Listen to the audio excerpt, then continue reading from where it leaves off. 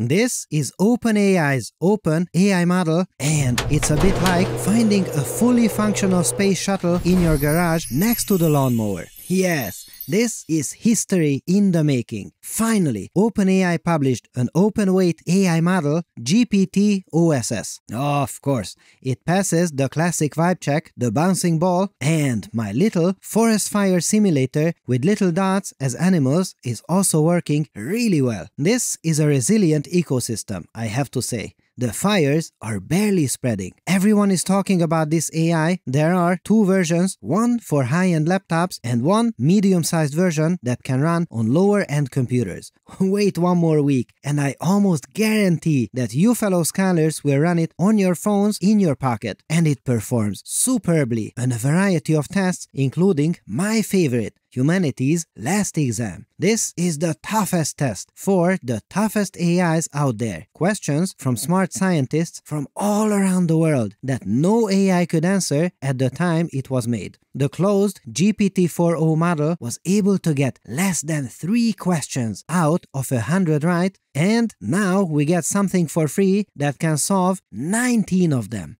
Just think about that for a moment. That is insanity. And now, here are three things that very few people talk about and are super important. One, oh my goodness, look at that. For me, it performs unexpectedly well on health-based questions. Look, this is not normal. It rivals one of the best paid proprietary solution, O3 in these cases. That is unbelievable. And, of course, it is not infallible, but imagine that you can have this on your laptop and take it anywhere in the world with you. If there are any emergencies and I don't have any connectivity, this can be a little personal doctor. I am sure it will save many lives. This is a huge gift and a great contribution to humanity. Thank you so much. 2. Uh-oh.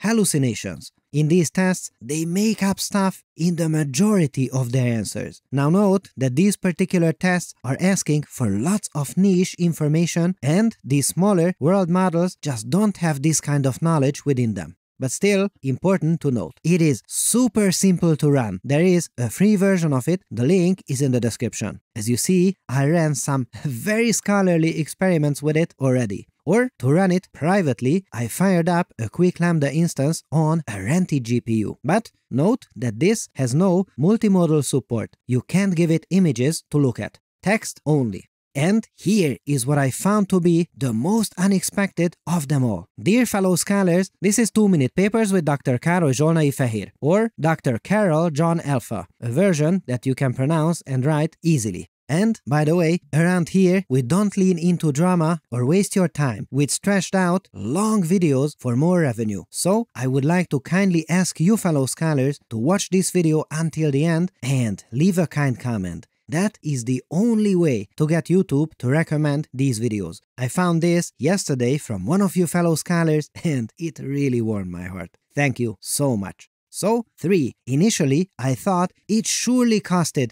billions of dollars to train this, right? Now, hold on to your papers, fellow scholars, and let's see. Would you look at that?